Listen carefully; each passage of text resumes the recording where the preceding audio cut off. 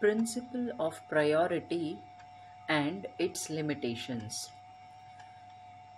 Now, coming to the principle of priority.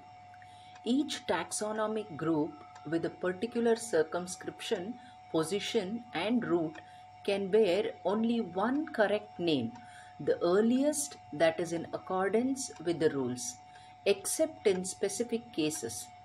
Principle of priority is concerned with the selection of a single correct name of taxonomic group. Only legitimate names should be retained while the illegitimate names should be rejected.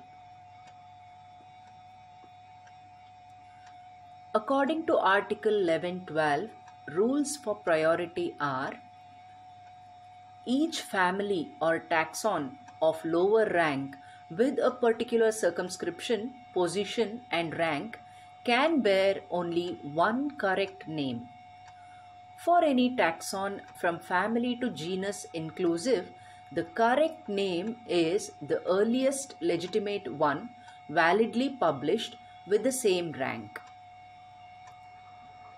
A name of a taxon has no status under this code unless it is validly published.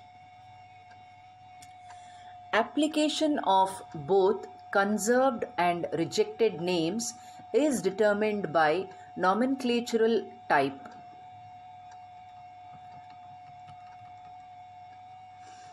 When a name proposed for conservation has been provisionally approved by the General Committee, botanists are authorized to retain it pending the decision of a later International Botanical Congress.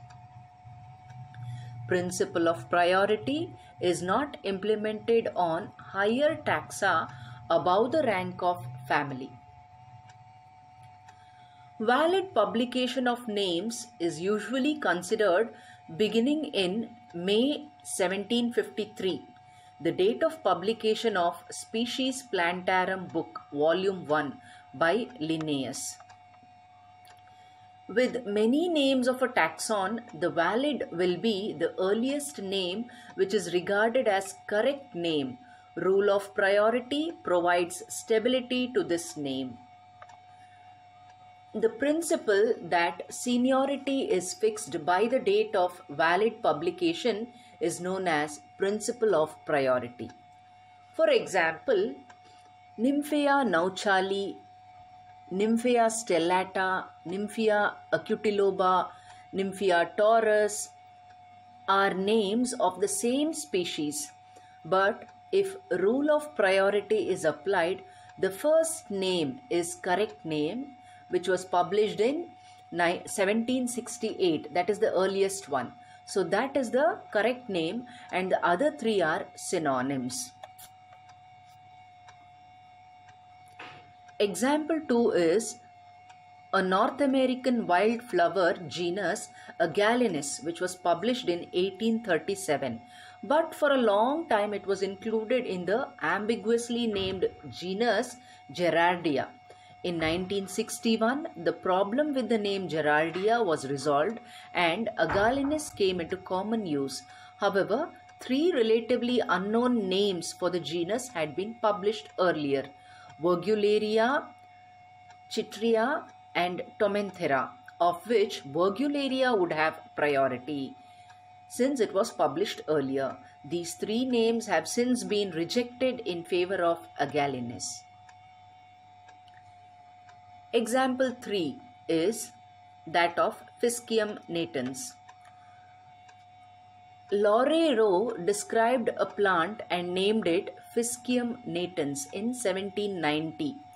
Jussieu transferred it in genus Vallisneria in 1828. He, instead of natans, gave the name specific name as Vallisneria physkium. It is a superfluous name. Graebner described the same plant as Vallisneria gigantea in 1912 and Miki in 1934 named it as Vallisneria asiatica. Hara, while studying Asiatic species, confirmed that all these names are synonyms.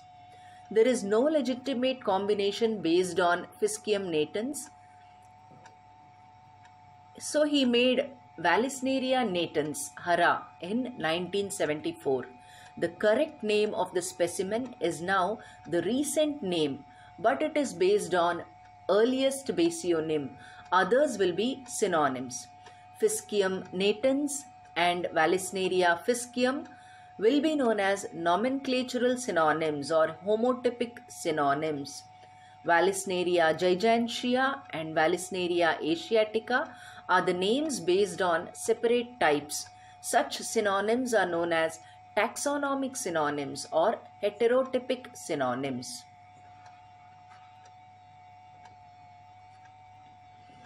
Now coming to the limitations of principles of priority. Firstly, the starting dates.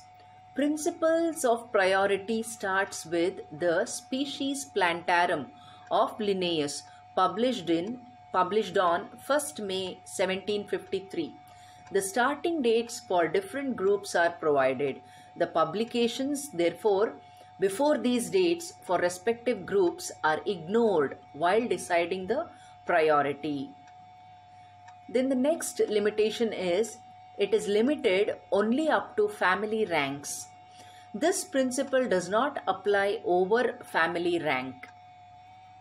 So it is limited only up to family ranks. The third limitation is the corrected name should not be outside the rank. Only when a correct name in the taxon is not available can a combination be made using the epithet from another rank. Next is the application of principles of priority resulted in numerous name changes.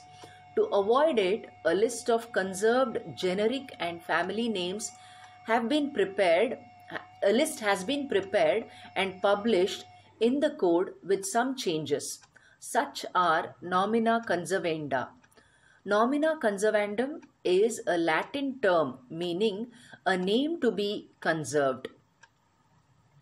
The name is retained even though it violates one or more rules which would otherwise prevent it from being legitimate. Such nomina conservanda are to be used as correct name replacing earlier legitimate name.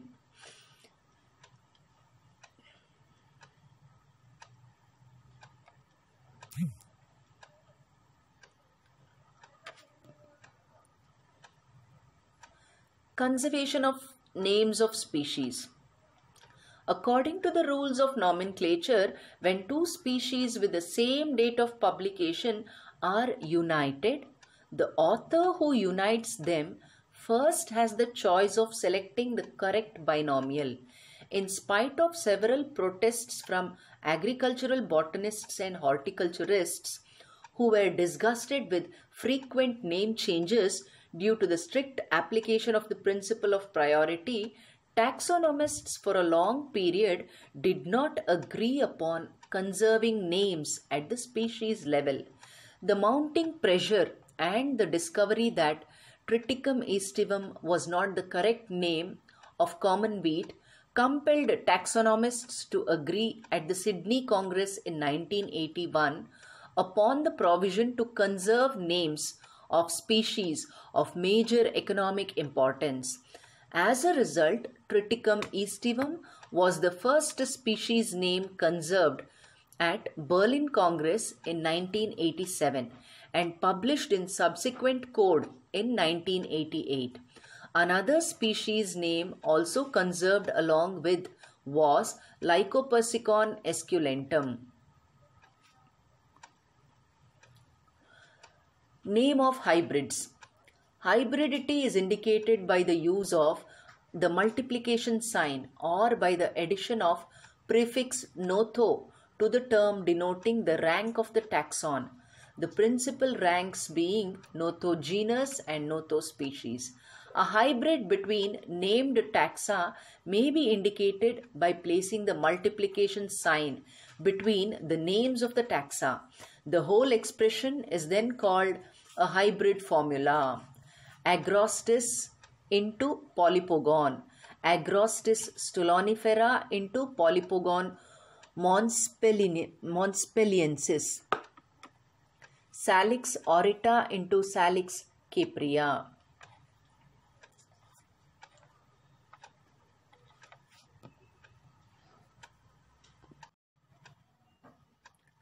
It is usually preferable to place the names or epithets in a formula in alphabetical order.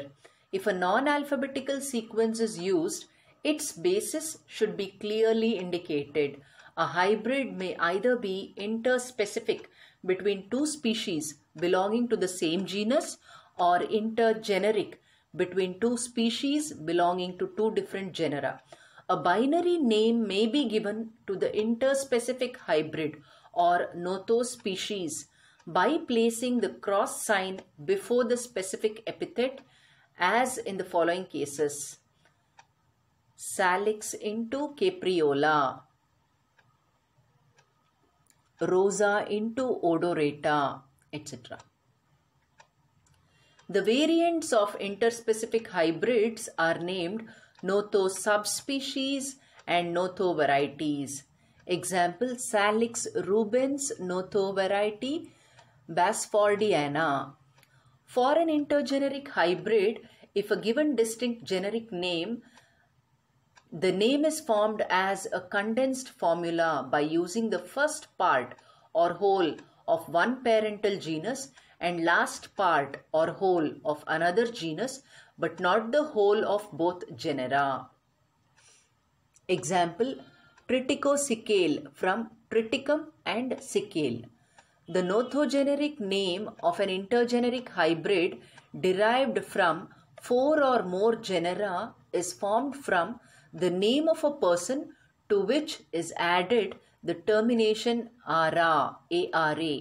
No such name may exceed eight syllables such a name is regarded as a condensed formula. Into Potinara.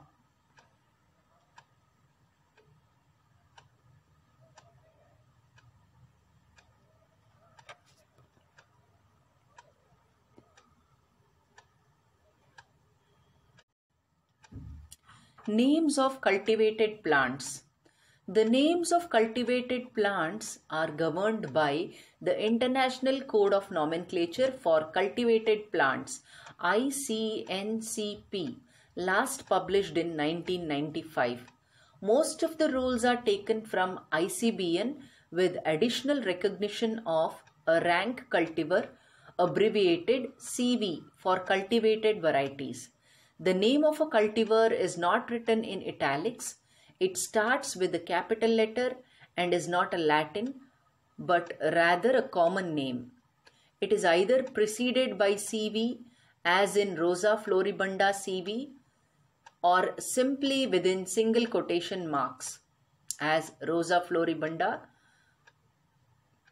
Cultivars may also be named directly under a genus, under a hybrid or directly under a common name. Since 1st January 1959, new cultivar names should have a description published in any language and these names must not be the same as the botanical or common name of a genus or a species. Thus, cultivar names, rose, onion, etc. are not permitted as the name of a cultivar. It is recommended that cultivar names be registered with proper registering authorities to prevent duplication or misuse of cultivar names. Registering authorities exist separately for roses, orchids and several other groups or genera.